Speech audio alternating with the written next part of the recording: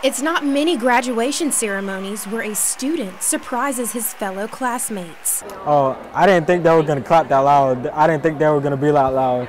But then it just made me feel better about everything. About three months ago, 13 year old Eduardo Ramos had to leave school to have a tumor removed from his brain. Students, faculty, and staff of Southeast Middle School held a kickball fundraiser called Kicking for Ramos raising money for Eduardo and his family while he was recovering for surgery.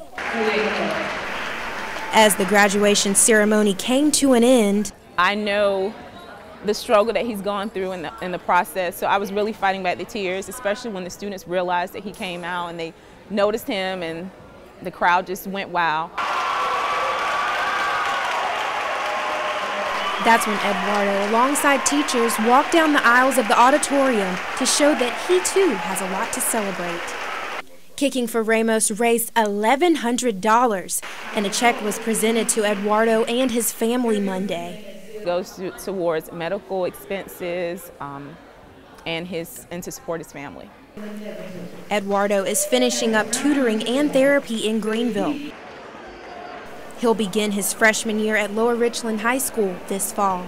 It's possibilities. If you believe, you will achieve. Thank you very much.